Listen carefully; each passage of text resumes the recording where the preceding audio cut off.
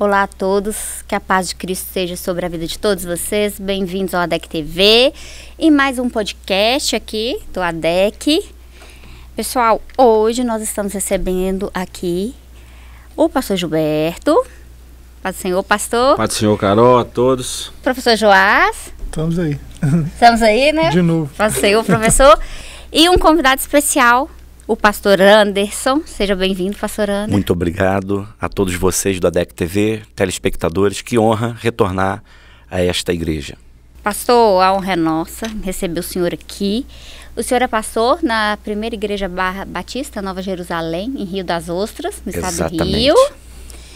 E hoje nós vamos falar um pouquinho de um projeto, né? O senhor que o senhor tem lá no Rio, um projeto bem como que eu, como que eu posso dizer? É um projeto muito gratificante e um Sim. projeto que ajuda muitas famílias. Verdade.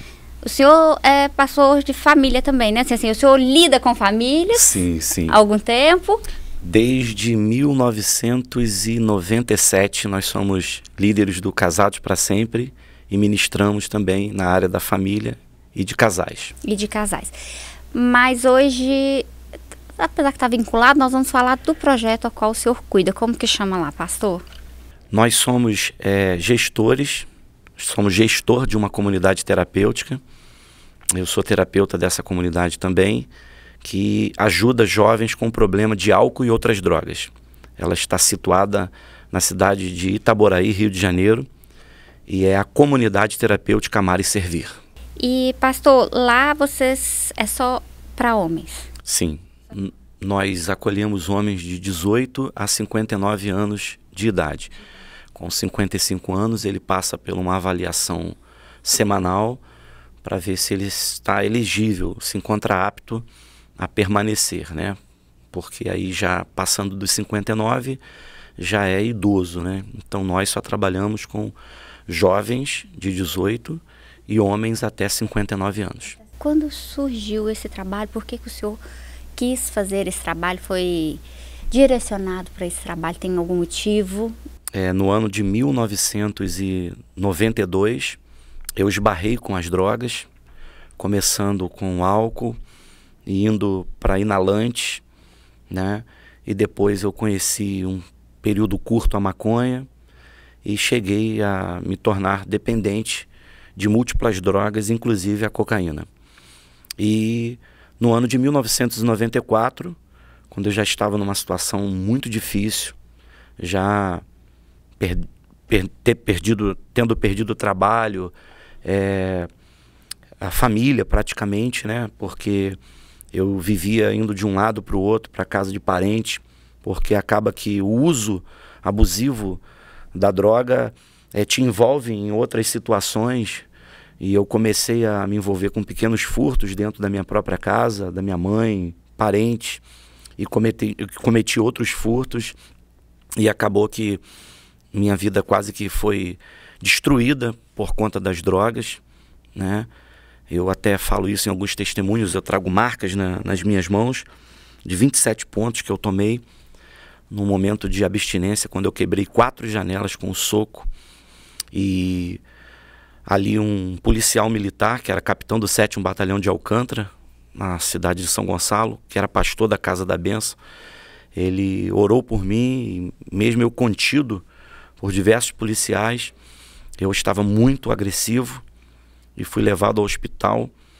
E daquele dia em diante eu percebi que alguma coisa mudou na minha vida, porque aquele pastor orou por mim e logo em seguida, é, encurtando, né, porque é um testemunho muito Sim. grande, é, eu tive um encontro com Cristo e desde então tem 29 anos que eu sirvo a Deus. É, naquele primeiro momento eu fiquei livre das drogas e quando eu completei cerca de seis meses eu disse que dedicaria a minha vida a ajudar outras pessoas a encontrarem também um caminho da recuperação. E então, nesses 29 anos, eu dediquei a minha vida é, em gratidão a esse Deus maravilhoso que me deu a oportunidade de construir uma família, um lar. Hoje eu tenho uma esposa maravilhosa que vocês conheceram. a Jane, tem 26 anos de casado, duas filhas hoje, uma com 25, uma com 24 anos, missionárias da Jocum, jovens com uma missão. E toda a nossa família hoje serve a Jesus com o propósito de amar o próximo. E hoje, para mim, não é apenas uma profissão fazer o trabalho de terapeuta numa comunidade terapêutica. É uma missão que Deus me confiou, né? Então eu sou grato a Deus por, por Ele ter feito essa obra na minha vida. E eu faço isso por gratidão. Gratidão ao, ao nosso Deus. Ver no pastor Anderson falar assim, a gente sabe a dificuldade das famílias, de quem é dependente de alguma coisa. Mas realmente, para a gente ter 100% da empatia, parece que a gente tem que ter vivido aquilo, né? Eu só consigo ajudar na essência uma pessoa se eu tiver passado por essas experiências muito parecidas. E eu sei que vocês já foram visitar lá a comunidade, não já? Já. Já estivemos lá. Eu já tive uma, algumas vezes, né, o pastor, a última foi com o pastor Gilberto. Fomos levar alguém lá que infelizmente não ficou, né? Não. Infelizmente é um caso mais grave, mas a comunidade é assim, a gente já chega, a gente já, já percebe a, um ambiente diferente, né? Só de chegar no lugar, porque a gente sabe só de chegar que, que Deus está ali. Né? É, o problema da, da, de dependências como essas aí, é, todo o estrago que causa né, e toda a complexidade que envolve né, esse assunto, é, esse tipo de, de problema de saúde, né, é, com toda essa complexidade, a gente sabe que há há um, um, uma doença que ela é também espiritual, né? E assim, a, as trevas se aproveitam para encarcerar mais ainda, para é, viciar mais ainda, né? Quem já está enfrentando esse tipo de situação e um lugar onde é, há pessoas de Deus dispostas a cuidar de outras pessoas, né? É, a gente percebe que Deus está ali naquele lugar. Né? E aí por isso que a gente vê as curas que, que acontecem né, de pessoas que passam pelo tratamento ali. Só, só acontecem essas curas, não é só por causa da terapia, eu tenho certeza disso. É, é, é por causa da mão de Deus que está ali. Tem todo né, um processo. Né? Trabalhando Sim. todo o processo. Né? As drogas, sejam elas lícitas ou ilícitas, é uma ferramenta também do inimigo, né? Para matar, roubar, destruir pessoas, famílias, sonhos. Eu tive a oportunidade de conhecer o pastor Anderson um tempo atrás, até mesmo por uma, por uma ponte criada pelo pastor Anacleto. Quero até agradecer ao pastor Anacleto por isso. E foi exatamente por, por uma das frentes que a igreja atua. A igreja, nós entendemos que a igreja precisa atuar em diversas frentes. Uma frente é o espiritual, outra frente. Nós passamos na escola dominical de ser um EBD, né? Uma outra frente é, é a moral, que se diz respeito ao moral, caráter, e uma outra frente é, é o social. E quando a igreja é, atua nessa área social, a gente depara com diversos problemas. São muitas famílias destruídas, muitos pais sofrendo e filhos envolvidos em drogas. A gente vê isso constantemente em presídios, é, em recuperandos na PAC, em, em, diversos lugares. Então a gente, a igreja tem essa frente assim bem presente, bem atuante. Então quando a gente encontra situações assim que precisa do espiritual, mas também precisa de ferramentas é, que trabalha o, o, o, comportamento humano, aí a gente atua em parceria com essas clínicas. Foi, foi exatamente aí que eu conheci o pastor Anderson. O índice que consegue recuperar, as pessoas conseguem seguir firme e nunca mais mexer é grande ou não, muitos não conseguem ficar porque a fase da abstinência é muito difícil? Antes de nós respondermos essa pergunta, precisamos entender o que é dependência química. A OMS, a Organização Mundial da Saúde, classifica a dependência química como uma doença Sim. desde 1964. Então, ela é uma doença. Sim. Ponto. Como qualquer outra doença que precisa de tratamento. Mas ela é uma doença progressiva, potencialmente fatal e segundo a OMS, crônica, incurável. Não tem cura, tem tratamento. Só que a OMS olha para o indivíduo como um ser biológico. Mas o, o ser humano, ele é composto de corpo, alma e espírito. É uma tríade. Então, olhar para o homem só como um ser biológico, né, e não como um ser também que tem uma alma e um espírito, emoções, né? emoções então é também dizer que Deus não teria poder para curar uma doença, não só a, a dependência química, mas como qualquer outra doença crônica ou incurável. Porém, hoje a OMS já diz que ela não é só uma doença biopsicossocial. Ela é uma doença comportamental e espiritual. Então, quando nós, como comunidade terapêutica acolhedora, o típico, o simples, que está dentro da norma da RDC 29 da Anvisa, como comunidade acolhedora, olha para esse indivíduo, nós temos um olhar holístico.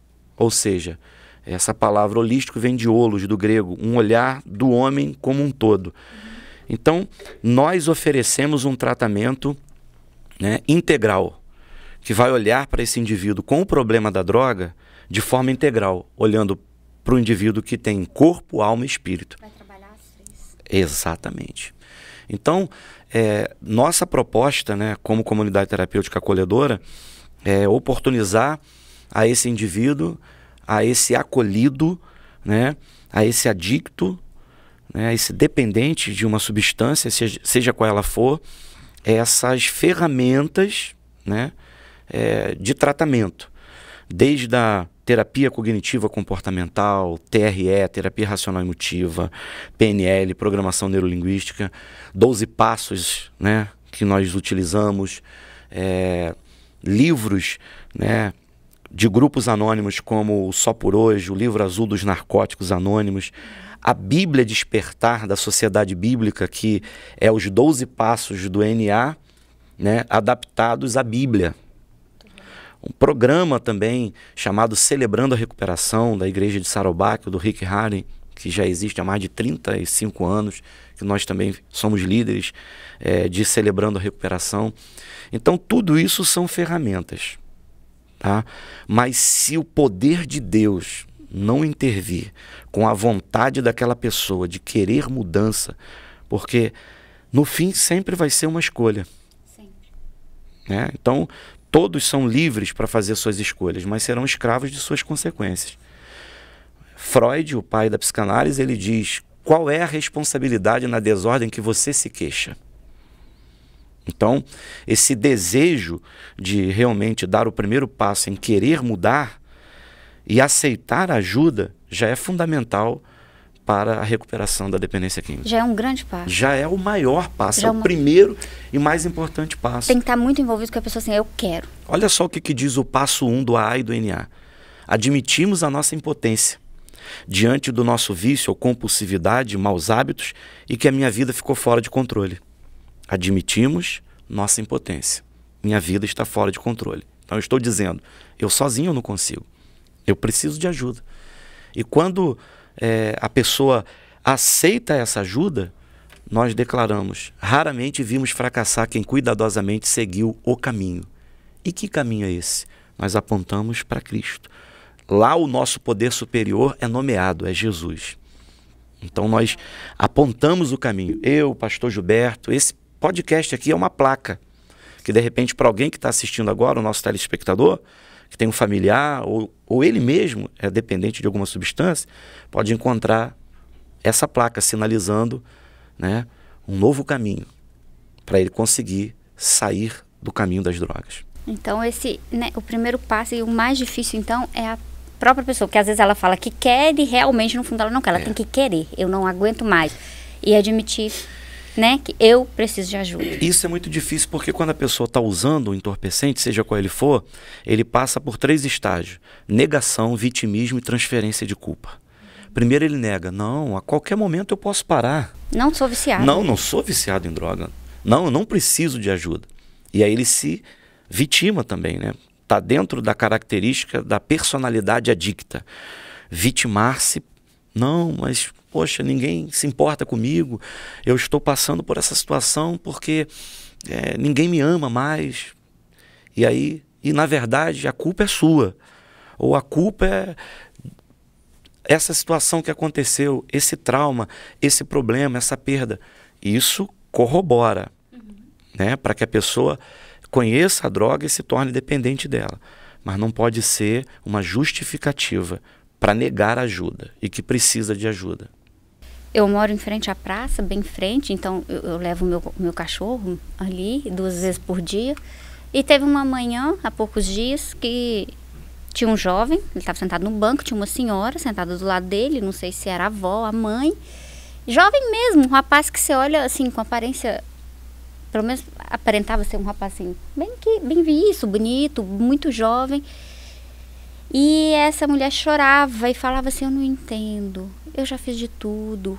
Lá em casa tem comida, você tem cama, eu te dei um celular novo, você tem roupa limpa mas você não quer, você quer mais dinheiro, eu não vou te dar o que eu te dei ontem, você já consumiu tudo em crack essa noite. E ela falava alto e ele falava assim. É, eu, eu, só comecei a orar ali por, por, aquela senhora, por aquele jovem, né? E, e ele falava assim: olha, para, olha lá, ela tá, tá passando, tá ouvindo. Aí a, a senhora falou assim: deixa ouvir, as pessoas precisam ouvir. Olha o desespero de uma mãe, né? Tantas mães estão assim, Carol. Você não imagina quantas mães nós ouvimos e, com esse assim, lamento. Eu orei, mas eu me senti impotente naquele momento. Nós acompanhamos uma família bem recente, o pastor Antes sabe isso também, o Joás sabe, porque a gente levou esse jovem até a clínica. Mas o primeiro passo, o pastor Antes já falou, a pessoa precisa querer. Ele precisa se disponibilizar em, em, em querer ajuda. Não adianta a gente pegar força ou levar, isso só funciona de forma compulsiva. Ou involuntária. Né? Ou involuntária. Aí quando não tem jeito mesmo, aí a justiça determina. Isso. E mesmo assim precisa ter assinatura da família, é um Sim. processo longo. Porque muitos, eu, eu acredito assim, que com o tempo, pastor Anderson Joás, eles nem voltam mais para casa. Não. Alguns... Eles ficam fora de si. Fora, fora de si. Não eu, comem, né? Não. Esse rapaz que eu tô te falando, ele passou por quatro clínicas. Quatro? É, a família quer, mas ele mesmo não quer. E hoje está numa situação complicadíssima e corre o risco de ou sumir, ou morrer, ou voltar para o sistema prisional. Isso é muito complicado, então precisa querer ajuda. Então por isso que o primeiro passo é a pessoa querer. Eu quero até falar, Carol, é, me disponibilizar, a igreja, na verdade, né? A igreja está é, de portas abertas para quem quiser ajuda. De repente alguém vai ver esse podcast, pastor. Sim. Né? e vai estar tá assistindo e está numa situação complicadíssima. Então, Eu estou à disposição. Sim. Né? A igreja tem o, tem o telefone da igreja, tem o WhatsApp da igreja, pode chamar, pode conversar. E a gente faz esse primeiro contato, a gente acompanha essas famílias assim, né? E a gente vê o que pode ser feito. Se é um encaminhamento, se é uma ajuda, se é um psicólogo, se é um psiquiatra. Então a gente está aí, a igreja está aí para fazer esse trabalho, tá?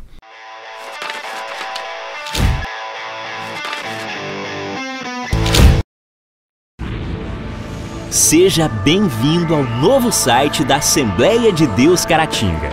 Agora ele está completo para você acompanhar bem de perto tudo sobre nossa igreja. Nele você encontra um pouco de nossa história, onde nós estamos, nossos horários de cultos e endereços de nossas filiais. E ainda você poderá fazer seu pedido de oração, sua contribuição, acompanhar nossas notícias, entrar em contato conosco e muito mais. Mais uma forma de você acompanhar tudo o que acontece na Assembleia de Deus Caratinga, de onde você estiver.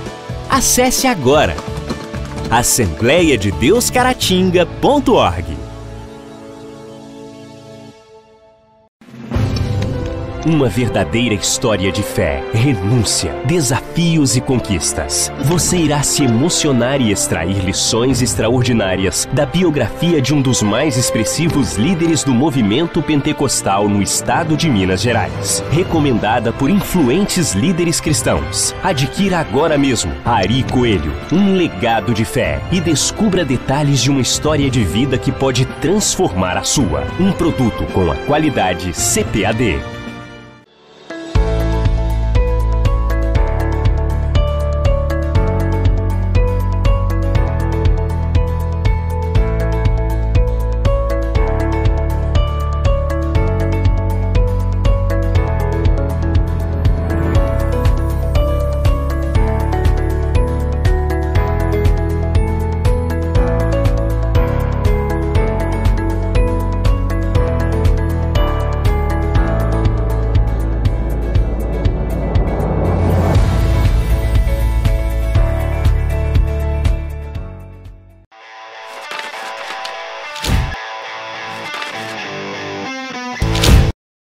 Olá, estamos de volta aqui no podcast do ADEC TV. A gente, no primeiro bloco, conversamos com o pastor Anderson, que está aqui também, né? O pastor Gilberto e o professor Joás já saíram. Sobre dependência química, o trabalho que o senhor realiza, né, pastor? Sim. Lá no Rio de Janeiro. E a gente falou que no segundo bloco a gente ia ter uma surpresa, né? Falar Sim. mais um pouquinho lá da comunidade terapêutica que o senhor coordena. Mas a surpresa pode falar, senhor pode apresentar?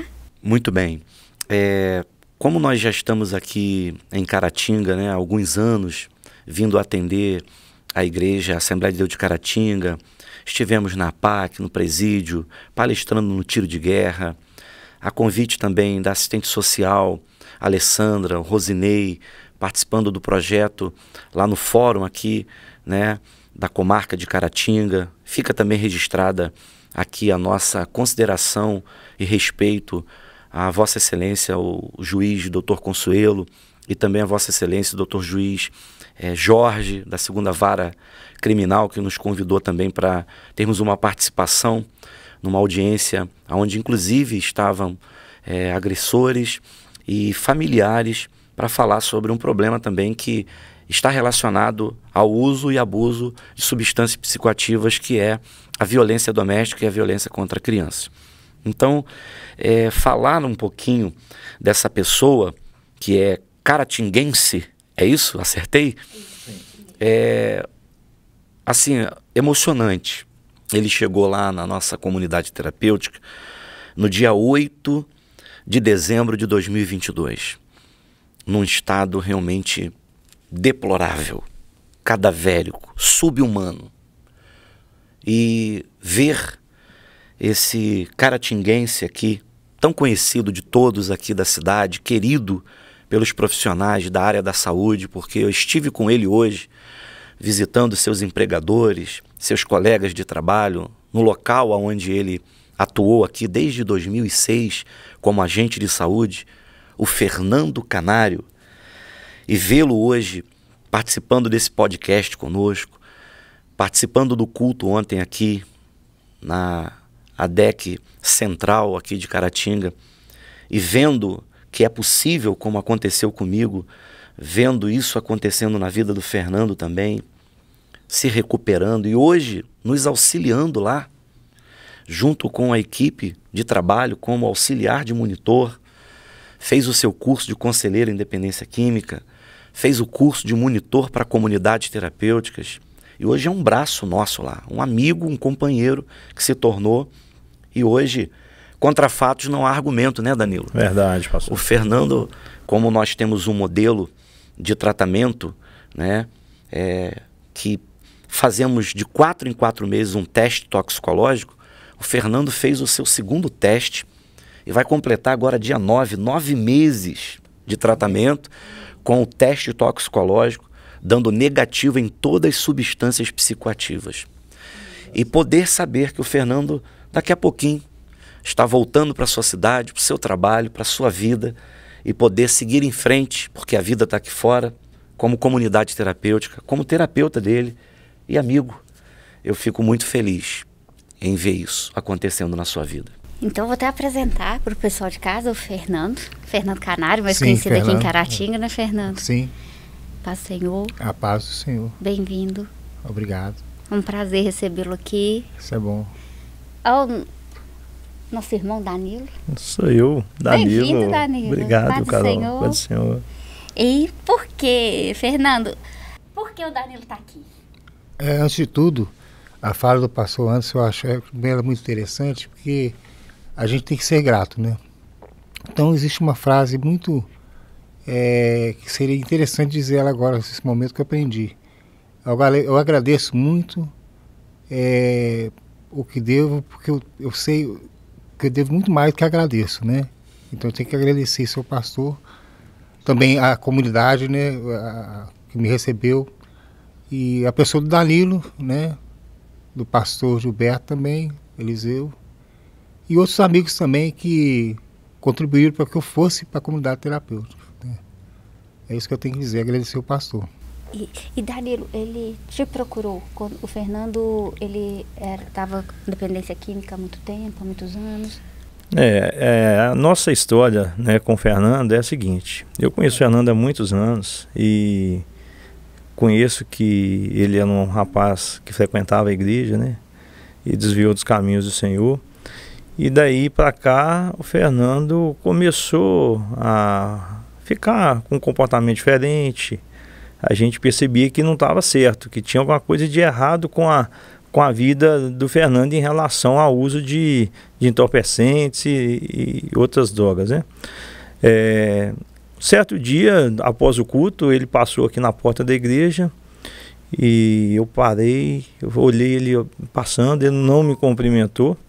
Ele estava igual um, um, zumbi, né, Fernando? Sim, é, sim. Todo desconfigurado, né? Todo feio, mal arrumado. Aí eu falei assim, não, ele não pode continuar assim não. E aquilo tocou no meu coração e eu pedindo a Deus uma oportunidade de é, encontrar com o Fernando e conversar com o Fernando. E aí Deus foi colocando essa. É, foi realizando esse desejo. Certo dia ele chegou lá na minha loja e me pediu uma ajuda, e aí foi o ponto onde nós começamos a construir esse, esse relacionamento. E daí é, apresentei ele para o pastor Gilberto, né? O pastor antes a gente já conhecia, é, sabia que ele tinha esse trabalho lá, né? Não sabia que era é um trabalho de excelência igual é, mas a gente sabia que ele trabalhava. E daí a gente foi construindo esse relacionamento, o pastor, né, sempre falando com, com o Fernando, e um dia o Fernando decidiu tomar a decisão de ir para a clínica. Né, o pastor teve um, um, contato com ele, inclusive numa hora que ele estava indo numa boca, né? E o pastor abordou ele e ele, ele falou que ia mesmo. O pastor falou: Não, vai para casa, vai para casa. Você tem que ir para a clínica. Ele falou assim: Eu vou, pastor. E daí em diante começou esse processo de recuperação. É, na realidade, né? o Danilo mais me procurou do que eu procurei. Ele me parava, eu falei: Não, Danilo, por que isso tal? E assim, o que o Danilo falou tem uma base muito importante disso aí. É o seguinte: é, é, o dependente químico ele se esquece de si. Né? Então, o amor de Deus não existe para ele. É, quando você é acolhido por pessoas que têm esse entendimento, você resgata isso de novo. Puxa vida, Deus me ama. É mais ou menos assim, o povo de Israel né, sair de, da presença de Deus, aí de novamente vinha o profeta, olha, o Senhor está, né, vai, lembrava das coisas que o Senhor fazia por ele, que é a lembrança. Então a gente se, se bem a lembrança, puxa vida, Deus me ama. Mas aí é o seguinte, existe aquele fato de vir para a igreja. É, como é que eu vou chegar na igreja? Eu estou todo, todo quebrado, todo arrebentado, cheio de pecados, cheio de problemas, cheio de traumas. Né? A gente vai para a igreja. A gente vem para a igreja. Chega na igreja, a gente é acolhido. Então a gente começa a resgatar aos poucos. Puxa vida, Deus me ama. E pessoas se interessam por mim. Se preocupa. Né? E aí depois a gente faz aquele movimento, eu, um movimento terapêutico, né? agradeço o termo terapeuta de se amar, né? E prosseguir no tratamento. É muito importante isso que o Ali falou, que essa intervenção foi ele que me procurou muito mais que eu procurei. Aí depois eu. É. Agora, Mas, o importante é que o primeiro passo foi dele. Ele quis, que né? Ele é. quis. É, porque eles falaram, é. vão para a clínica. Eu falei, não, pera, espera um pouquinho. Aí depois, não, peraí, não estou aguentando mais, é. não. Preciso de ir. Porque, na verdade, o Carol o Fernando já esteve em outras clínicas, né? Sim. Então, assim, é, não é simplesmente ir para uma clínica que vai resolver o problema. Né? Tem que saber o, o plano de trabalho dessa clínica. Ela tem estrutura para receber esse, esse, esse rapaz, essa pessoa que está procurando? Porque se não tiver, a, a, chance de não ter recuperação é muito grande. É muito... Né? Pode ser até ignorância minha, Danilo, pastor Anderson, Fernando, mas ver o Fernando assim, com nove meses de tratamento, é, é uma recuperação muito rápida, não? Eu, ou, ou eu que estou, assim, que eu não, não. sei, pastor? Tudo. Rápido e até mesmo assustador, né? Assustador. Que ele, eu vou até contar, revelar uma coisa aqui. Ele chegava perto de mim com a barbinha feita, cabelinho cortado e chegava lá e falava, seu Danilo, como que eu estou hoje? Aí eu virava para ele e falei assim: você está embalado a vácuo, Fernando. É, embalado. É, de tão, tão magro, tão né? magro é. que ele estava, né? Então, assim, a mudança foi radical, né? Em nove meses. E a gente Exatamente. sabe que Deus está na frente de tudo, pastor, mas o, o método, do, então, é, tá certo, é muito eficaz. Ou eu estou errada em ficar assustada aqui não, e pouco, não. achar pouco tempo? É, na verdade, é, Carol, é, quando nós falamos né, de um indivíduo, não do dependente químico de uma substância, mas do indivíduo, da pessoa, como eu falei ontem aqui no Templo Central, no culto da família, o ser humano só precisa de três coisas básicas para ser feliz. Ele precisa ser amado, se sentir amado, ele precisa ser ouvido na essência, você se importar, ouvir a sua história, conhecê-la. E ele precisa ser inserido a um grupo, pertencer, se sentir parte de um grupo. E a maioria dos dependentes químicos, eles sofrem a marginalização por causa da dependência química. E aí são tantos adjetivos usados, maconheiro, cracudo, bandido, marginal, né, que ele começa a construir essa crença de que minha mãe já me abandonou, é, eu já perdi meu emprego, perdi minha família, eu já não tenho ninguém mais que se importa comigo, então eu sou isso mesmo. Eu sou isso mesmo. É. E aí ele se entrega a esse mundo, porque ele não consegue sair de lá. A maioria das drogas, né, elas têm é, sobre os seus efeitos colaterais algumas características em comum. Por exemplo, o crack, que era a droga que ele usava, é uma droga estimulante, estimula o sistema nervoso central e ela é altamente viciante. Pode viciar na primeira vez, dependendo do organismo da pessoa que ela usar a primeira vez. E o efeito dela é muito curto, então quando o organismo ele recebe essa quantidade de dopamina, de prazer no cérebro, e logo que o efeito acaba por ser curto, então o corpo começa a liberar adrenalina, um outro, um outro hormônio, e cortisol, o hormônio do estresse. Então ele fica o que a gente chama de fissura, craving, é um forte desejo e impulso por usar a droga, associado à abstinência. E aí o organismo cria o que a gente chama de tolerância ele acostuma com a droga. E aí então o cérebro diz que ele precisa aumentar as quantidades de droga num prazo menos, né, é mais curto, com quantidades maiores, para poder atender aquela falta de dopamina quando ele está sem a droga. E olha só o que, que acontece, principalmente com crack e outras drogas estimulantes como a cocaína. É altamente estimulante. Quando acaba o efeito, é altamente depressora. Ela, a pessoa fica deprimida, angustiada, a pessoa fica irritada em algumas situações, a pessoa fica enjoada. E aí o que que ele acredita que vai resolver aquele momento ali de angústia? Outra dose. Outra dose. E na verdade, a, a, o, o tempo entre as doses eu tenho vai diminuindo, pastor. É como se o organismo fosse acostumando, aí você acha que você já precisa de mais, vai sim, aumentando a vai dose. aumentando, também. até ele se, se tornar um usuário que a gente chama abusivo, nocivo ou disfuncional. Agora já não é mais ele usando a droga. É a droga usando ele. Então ele perde, como eu falei aqui no, no intervalo, uma parte importante do pré-frontal, que é aonde você tem o poder de escolha e a capacidade de controlar os impulsos. A droga sequestra essa área do cérebro. Então ele age mais pelo impulso e pelo instinto, porque por ser uma droga também comportamental, então está ligada à compulsividade. Por isso que precisa de terapias para ressignificar né, esses hábitos e comportamentos. Lembra que eu falei no intervalo? O vício é um hábito repetido que transformou-se num comportamento compulsivo. E a linha é muito tênue entre o hábito e o vício.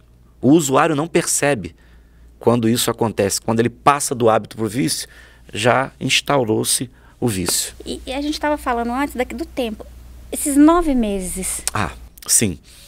É, na verdade, é, nós lá na nossa comunidade terapêutica acolhedora, que não somos clínica, porque quando falamos clínica, precisa de retaguarda médica, né? precisa de medicação. A comunidade terapêutica acolhedora, segundo a RDC 29 da Anvisa, ela não trabalha com o uso de psicotrópicos. A principal forma de tratamento é a convivência entre os pares, é a reprodução de um ambiente familiar saudável. Então, como terapeuta integrativo e complementar também, eu utilizo a fitoterapia no tratamento. eu uso as ervas medicinais, as plantas medicinais, os óleos essenciais, a aromaterapia e os florais de Bex, São Germain e o de Minas. Então, nós utilizamos fitoterapia né, para o tratamento. Salvo de algumas pessoas que precisam de uma retaguarda médica, um SOS, para outras comorbidades que são chamadas de doenças secundárias provenientes da dependência química, como transtorno de humor, transtorno depressivo, transtorno de ansiedade e outros transtornos classificados pela DSM-5-TR, que é o Manual de Diagnóstico de Doenças de Saúde Mental, e o CID-10, Classificação de Doenças Internacional, que agora está, na verdade, na versão 11.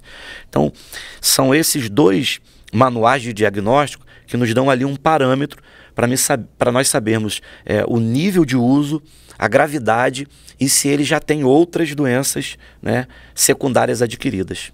Então, nós lá trabalhamos com tratamento para 3, 6, 9 e 12 meses. Existem pessoas que já passaram por algumas comunidades terapêuticas, algumas casas de recuperação, clínicas, e elas não precisam ter um ciclo de nove meses ou de seis meses. Elas têm uma intervenção de três meses, que nós chamamos de PIR Programa de Intervenção à Recaída. Ele não é um usuário que vai estar pela primeira vez como residente acolhido numa comunidade terapêutica. Ele é alguém que teve uma recidiva, uma recaída. Então nós vamos trabalhar agora né, o PIR, um programa específico para intervenção à recaída. O que, que aconteceu, por que, que ele recaiu e ferramentas para ele não recair. Fernando passou pelo PPR, Programa de Prevenção à Recaída, e pelo PIR, porque ele também já é um residente. Então, Programa de Intervenção à Recaída. Então, agora ele recebe todas essas ferramentas aliados né, aos 12 passos, à palavra de Deus, aos devocionais, à espiritualidade, para manter essa recuperação. Então ele conclui o ciclo de nove meses, mas ele ainda tem mais três meses, que a gente chama de três, a terceira fase, e vai receber todo o apoio através de reunião online, presencial e etc.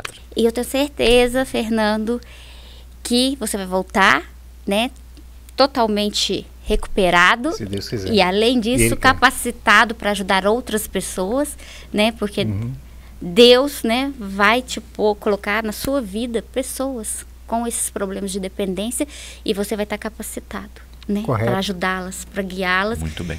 E aí você fez cursos lá, né?